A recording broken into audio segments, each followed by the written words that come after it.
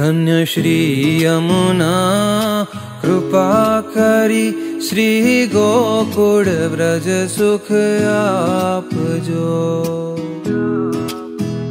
व्रज नीरज माँ अमने स्थिर करीने स्थाप जो।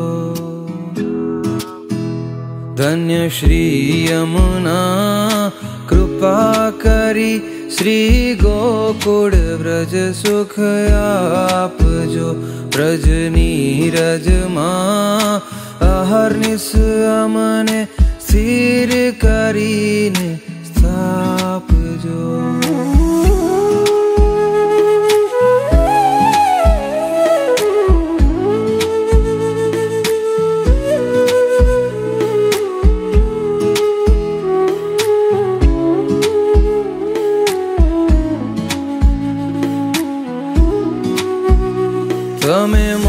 મોટા છો શ્રી મહારાણી તમે જીવ તણી કરુણા જાણી અમને ચરણે લેજો તાણી અમને ચરણે લેજો તાણી ધન્ય શ્રી યમુના કૃપા કરી શ્રી ગોકુળ વ્રજ સુખ